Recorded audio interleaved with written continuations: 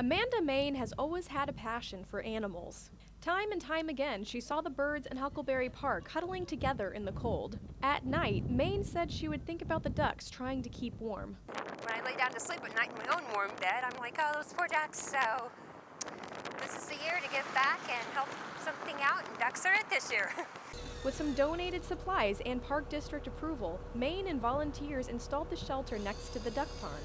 Main and her boyfriend Craig Elzy did all the labor in building the shelter she's a caring person. I mean, if you ever, if you know, if everybody was just like her, you know, be, there'd be a whole different world, you know. And uh, her caring for these ducks and making sure they got shelter and keeping warm. I mean, that means a lot. The shelter is stocked with food and straw, all waiting for the ducks and geese on the cold winter nights. It almost brings tears to your eye.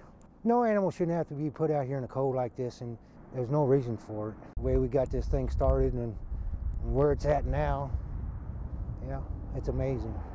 It looks a little not perfect, but it's a thought that counts, and as long as it shelters them, then, then that's what it's all about. Megan Townley, KHQA News, Hannibal.